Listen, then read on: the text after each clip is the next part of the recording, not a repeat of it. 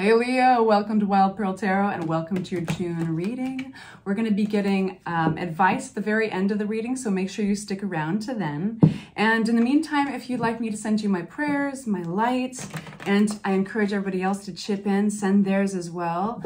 Um, say hi in the comment section, send an emoji if you're shy. And I'm sealing this all, this space, this YouTube channel, this video with good energy with the intention that nothing negative will actually get in this space. Everybody is welcome. You're loved here. So, all right, let's get the energies at hand. We're only going to take the cards that flip out. You know the rules, you guys. We own, we don't force anything. The cards have to volunteer. And if they fly out in reverse, then we read them that way. Otherwise, they start out upright.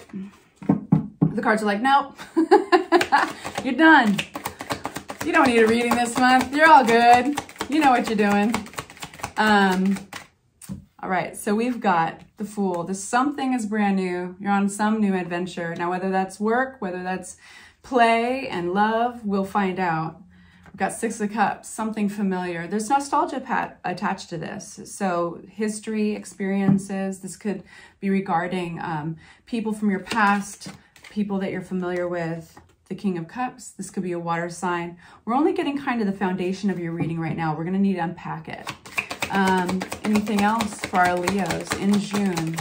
Our Leos in June 2023. And flying out, it flies upside down. We've got the Page of Swords clarity, clarity on this page of swords. We're going to go through and get clarity now. So it looks like you're kind of on a new, it's interesting. It's like the new and the old together. So there's something that you're familiar with. Um, something you're familiar with, but you're having a new adventure, a fresh start. Clarity on the Fool for our Leos. I think that you guys are going to have a real centering of your confidence, um, feeling very Leo. Uh, for June going into July, I mean, it feels like you you might be like, ah, there I am, ambitious, driven, enjoying the limelight. If you're getting attention, you're going to thrive. You're going to do really well with it. Confidence is really coming across. This is your energy. So you are having a brand new experience. Who's the, what's the Six of Cups? This is simple joys of youth coming out. This is emotional recovery. So something attached to your youth, something attached with this very positive kindness, and um, you can trust this. It's helping you come out of a harder, a, an old heartbreak, an old disappointment, okay? King of Cups, who's this King of Cups? Now this could be a water sign or somebody who is just emotionally really evolved, somebody who's caring, compassionate, kind. We have Two Cups. Ow, ow, it's like, this is possibly a love interest. This is not just a love interest though. This is like an amazing combination. Two of Cups is one of my favorite cards in the deck. I think this is even more favorite than the Lover's card because this is true partnership. This is equal give and take. This is equal compromise and understanding there you guys, I feel like you're meeting somebody. Now, if you're not in a relationship and you're not looking for one, then this is your business partner, okay? This is some type of collaborative energy that's working with you. You guys are on a very new journey, coming out of a harder place, recovering, because you are, you're like just, you're back in the game. Like, you're being recognized, you're being seen, you found some, you're equal. Um, and it's amazing. It's like being around somebody who thinks you're funny and they laugh at all your jokes. You swear you're funnier around them, okay? You are more Leo. You are more confident. You are more fiery and ambitious and beautiful and, and awesome, especially because this person see you've been that way the whole time, but there's been some hard shit that's happened this year. So and possibly even the year before and the year before. Either way, this person is a breath of fresh air because they emotionally, they're strong enough to support that. They don't need to compete with you. They can be like, cool, that's your groove. I got mine right here. We can run parallel with each other, you know? And that's the Two of Cups energy. That's that equality, support. And you could know this person. Um, it could feel like you've almost known them all your lives Anything else we need to know? You know what it is, Eight of Pentacles, you know what it is to put a lot of work into something that was breaking your freaking heart. And maybe there was a little denial in the beginning just because you're like, if I work hard enough, or if I do the right thing, or if I, you know, I'm a fucking Leo, I can make this work. I'm a Leo moon. I know. It's like, we've got that thing, that persistence, that like, no, I'm not going to give up. No, I'm not going to give up. But this wasn't even, it wasn't within, it was going to kill you. It was going to drive you down in the ground. It was going to drive, it was driving out your beautiful Leo energy. And that's why you're getting that reminder. This new bright adventure is like, Ah, yes. Now, oh man, I forgot this. I forgot that I'm the fucking sun. I'm the fucking sun. I want to repeat that over and over again, but it's going to be really boring reading then. so moving on. So you're getting a big reminder. You're getting back in the groove. Okay, so other people might say this is unorthodox. They might say, um, you, you're moving too fast, you know, or they might say, hey, your approach to this is not traditional. It's, are you sure about that? It comes out like, oh, okay. Are you sure? Are you, okay. Have you thought about da, da, da, You know, that whole tone. So, um, yeah, you're doing this unorthodox. You're doing this a little differently. Fuck them. Anything else Tarot wants to say? I mean, this is like my fourth reading and I wasn't swearing. At all on the other ones, but my Leo moon's coming out, you know, and so I've got to just make things real bright and clear. Yeah, so this, what is this Knight of Wands? I want to know, what, what is this Knight of Wands? What's this energy here? It's in, it's upside down. Oh. But then we got the Ten of Pentacles. Okie doke there is an air sign here. There's a King of Swords. I gotta just say, I gotta represent the truth here. We got the Knight of Wands upside down.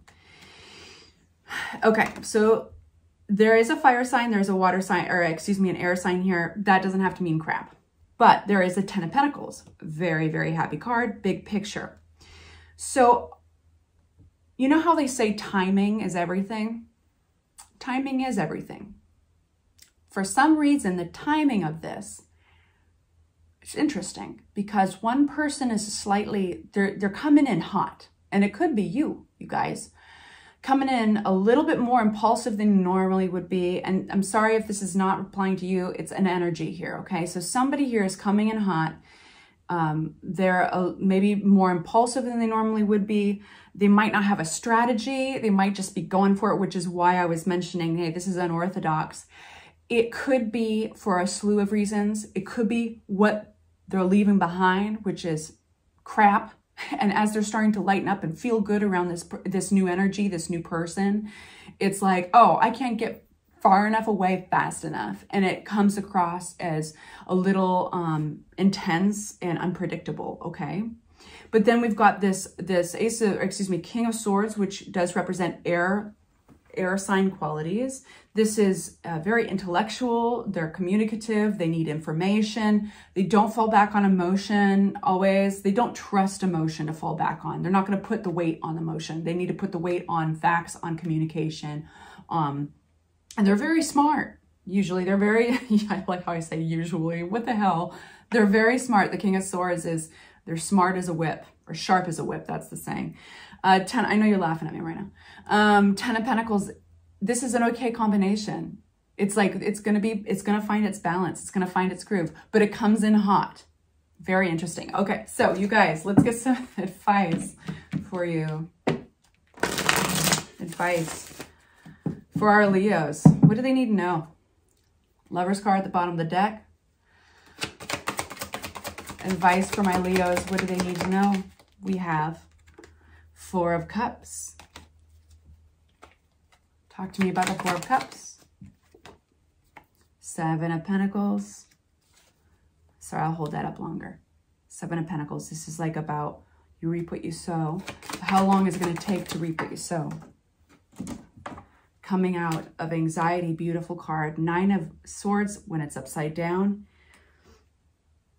coming out of anxiety. This is a big, this is a big message and it's, it's a more dynamic and intricate. So I need to take a little bit of time. Be patient with me, y'all. Four of Cups, what is this about? So you guys, by turning down one offer, you're getting your wish somewhere else. You're being seen. You're being seen. What is the Seven of Pentacles? Putting a lot of work into something, wondering if it'll pay off. Yeah, it does. In the next relationship, new love coming in. Nine of Swords. Knowing that you was not wasted. So that's what Tarot wants me to tell you, right? This is your advice. Consider this. Gratitude. Even during the hard things, even all that work, like I was just talking about, Leos don't like to give up. There's this part of them that's like, but maybe there's one route I haven't tried. You, that was not all in vain. It was strengthening you. It was strengthening your communication skills, your intuition, your tolerance for certain things. It also showed you what you want, and it also showed you what you're not willing to compromise on. And that, my friends, is a gift. So don't get hard on yourselves. When this new love comes in, feeling all the feels, don't get hard on yourselves. Say thank you. Thank you. That fucking sucked for a little while. But thank you. Nine of Swords coming out of this anxiety. You're coming out of that anxiety because you feel like you're in charge of your life again. You recognize yourself. And we've got our beautiful Queen of Cups. What does this Queen of Cups mean for our Leos? Ah, Queen of Cups. This is understanding. This is um, teamwork. I love this combination here. Now, this has a slightly different energy and it feels like it could even be a, a, counselor, a therapist, maybe a tarot reader. It could be a friend, but it's like that helping you get through it. So I feel like rather than tarot talking about you and this other individual, I feel like tarot is changing it up a little bit with this message and saying, um, hey, there's somebody here that really cares for you. There could be a water sign. Um, they're intuitive, they're emotional, they're very dialed in, they're, they're sensitive, they're kind, they're soft.